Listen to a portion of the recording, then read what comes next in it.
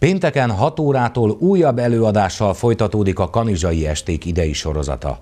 Az ingyenes programra felekezeti hovatartozástól függetlenül várják az érdeklődőket, a helyszín ezúttal a gyülekezeti terem lesz a magyarság életében, illetve az Európa életében egy olyan mérföldkő volt a reformáció, amely megújulást hozott nagyon sok területen, és dr. Tőkécki László egyetemi tanár segítségével, közreműködésével, az ő előadásában a reformáció és a történelem kapcsolatát, pontosabban a magyar nép történelmére gyakorolt hatását fogjuk megvizsgálni.